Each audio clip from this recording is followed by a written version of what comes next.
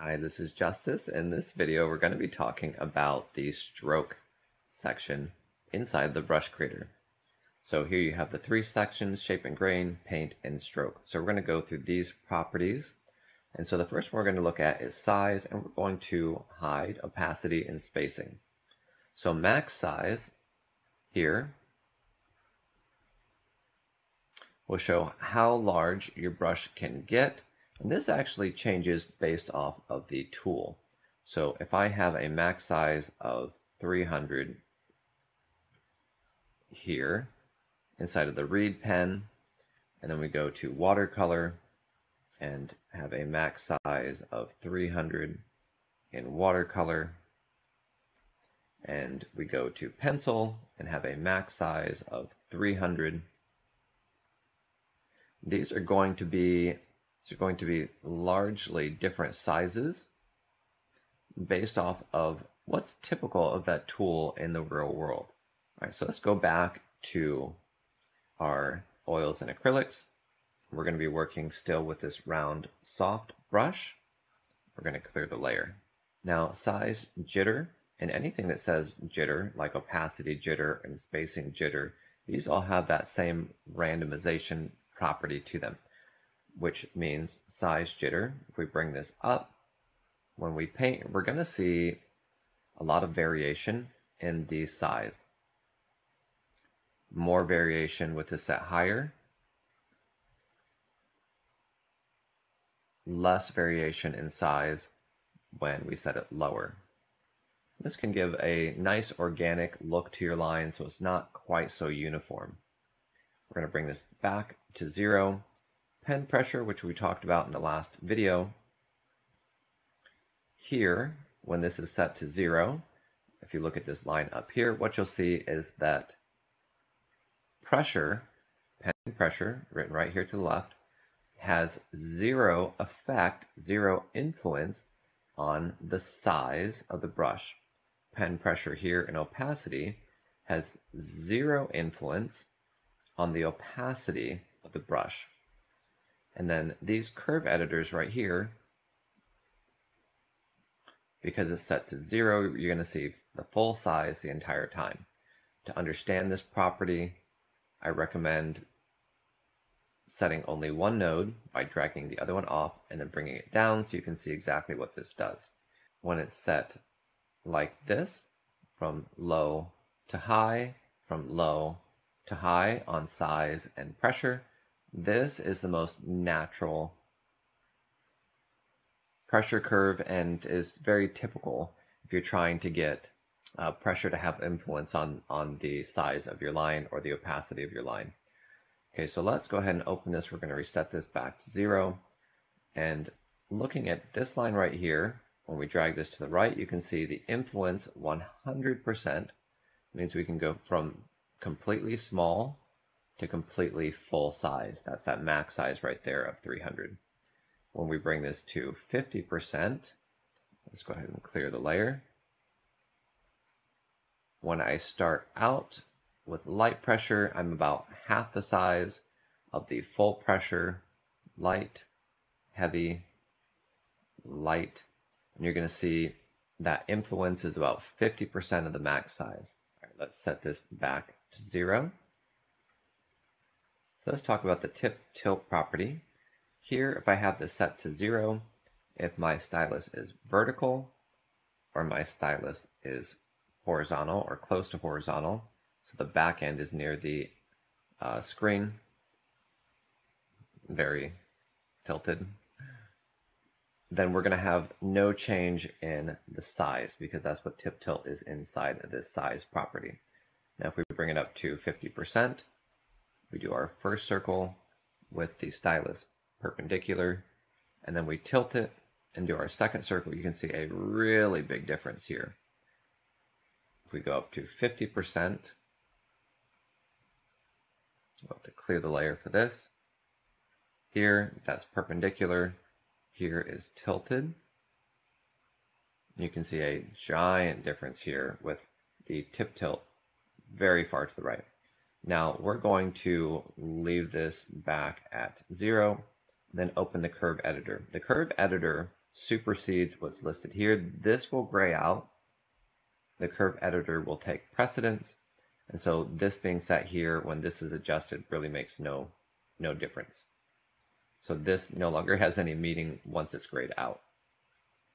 Okay, so width and height are the two variables that we have here. So we're going to drag our nodes out so we have only width and only height. And we're going to look at width first. We're going to bring width really high and height we're going to bring very, very low. Let's clear.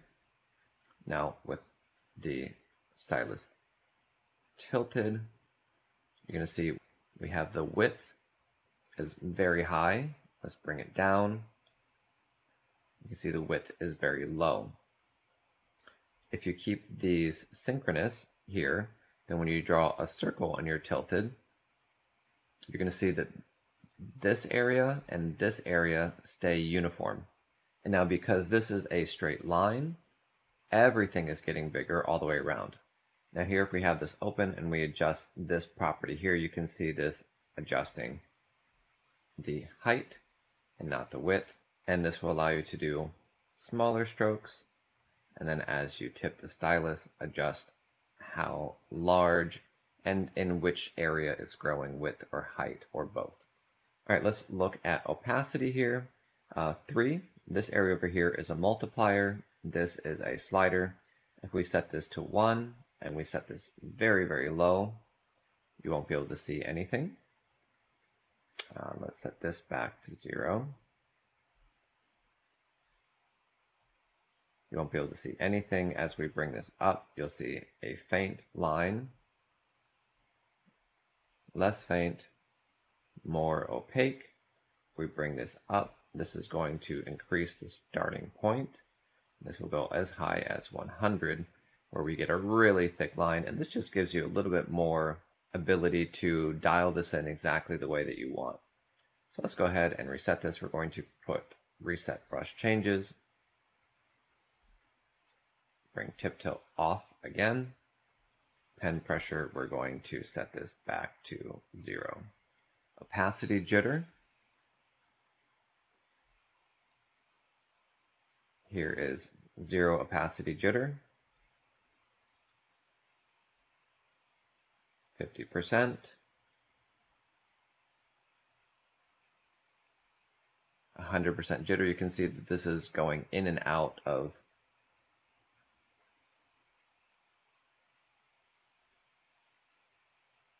transparent and opaque. And when it's over here, it stays consistent the entire time. Pen pressure, like we talked about up here with pen pressure for size, this affects how much opacity is being affected or influenced by pressure. You can have it set to a little or a whole bunch. You can use the curve editor here for that as well. And spacing, this is an interesting one. So spacing, our shape and grain right here, these are squares. They're 512 pixel uh, square images. You can see them right here. You can create new ones very easily, and I'll talk about that in the shape and grain video. Uh, right here, 12 means that these layers, uh, well, actually, let's set it to 100, and that'll help make this very clear. These boxes at 100 spacing are going to be right next to each other. Now we can't see that because the smudge property is turned on. So you can see, let's bring this back to zero.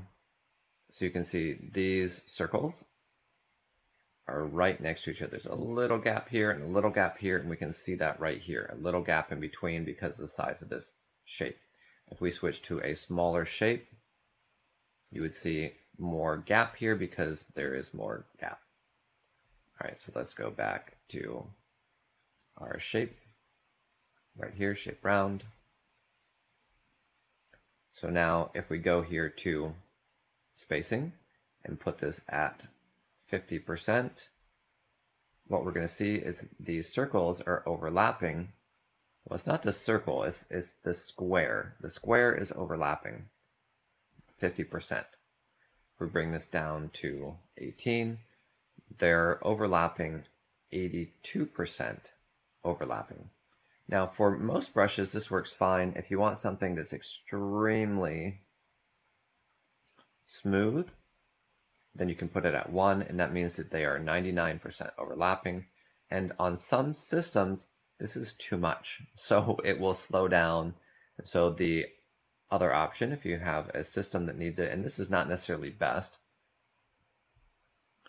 to set it to 1 no matter what system you have. Let's say you set it at 27. Let's set this up a little higher. 55, and then you turn it on smudge. This is going to start pushing those shapes together.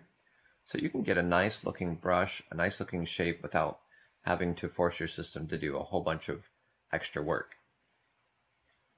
So let's put spacing back at 12. See a nice brush right here. Let's turn off smudge. You can see the difference here in these two brushes and the texture and the impasto. And let's turn on smudge quick strokes. So what you can see here, this top stroke, nothing happened. This bottom one, you can see the texture, and as I sped up, it started to push that texture together the same way it would with a real brush. Now we can turn on both. The combination of both things working at the same time. We have a bonus feature that was just added in version 6.0.8. So I'm going to talk about that one real quickly here. So here, Smudge now has smudge density. By default, this is set to 60. And what this does is this smudges every one pixel when this is set at 90. This smudges at every one pixel. When it's above 90, it smudges more than that, which is a little processor intensive, so it may not be ideal. And then when it's set down near 1, this is going to smudge uh, about every four pixels. This is roughly how it works. And so what you can see here, you can see a lot of the texture where it's not being smudged together. And up here, you can see where every single, um, the technical term is splat, that's being laid down is being smudged together at a greater than one pixel uh, interval. So density is, is basically kind of like how frequently the amount, uh, not too different from the word spacing here and how that works. So you can play around with that and, and really kind of refine how much detail shows up in your stroke based off of the smudge density. By default, this is set at 60, and that's a, a good amount that should work for most situations. Okay, now let's look at spacing jitter. So let's put our spacing back at 100 for this. So this is zero jitter. Let's turn jitter up to 30. You can see that the distance between them, which is not the same thing as scatter. Scatter is vertical. Spacing jitter is horizontal. So let's bring this really high. And you can see that it jumps in spacing quite a bit. Let's bring spacing jitter to zero and scatter. Let's bring up. You notice that this affects up and down.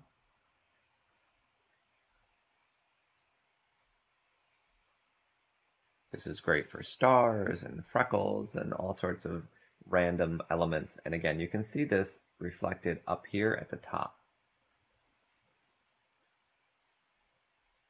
Now when we have smudge and smudge quick strokes both selected, you can choose your scatter options.